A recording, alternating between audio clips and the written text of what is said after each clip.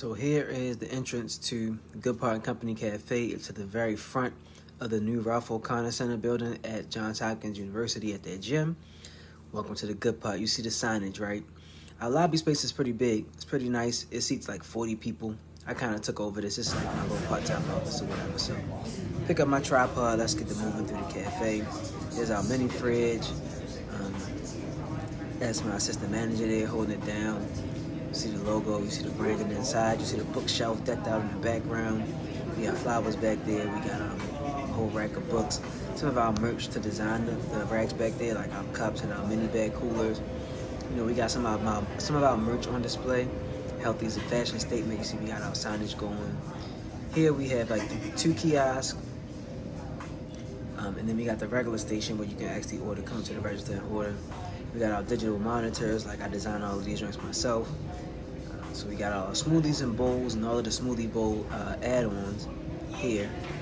We got our extra little signage in the middle, QR code for promotional service so they can join our um, mailing list.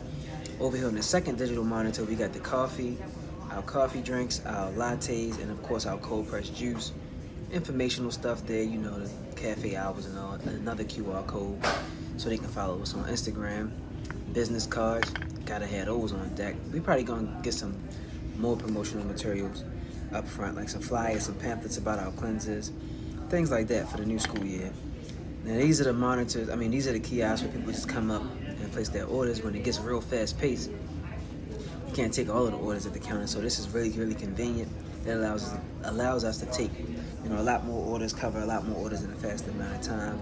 You can see that we can kind of load everything into these kiosks from our merch to our smoothies to our bowls. We got um, our cold pressed juices, all the juice packs that, that you want to buy, coffee items, our matcha there. So those are the more popular things, right? The smoothies, the bowls, the coffee.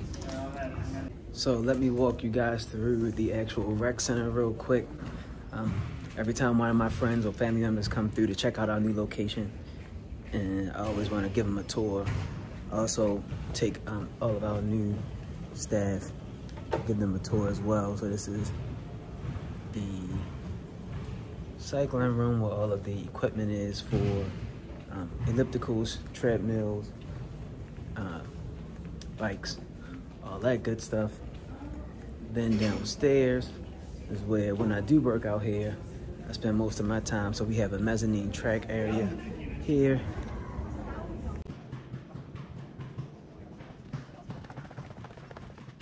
And this is where I spend most of my time on the basketball court getting my shots.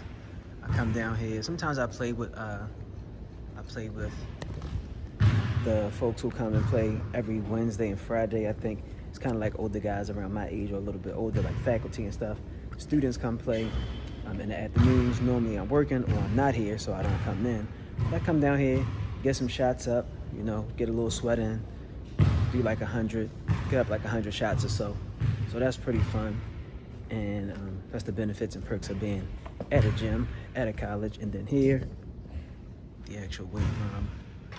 Not going to spend too much time walking through there. I'm going to be all up in this space, but it's pretty nice. Over here we have the uh, rock climbing wall. Who has this at their juice bar? Ha!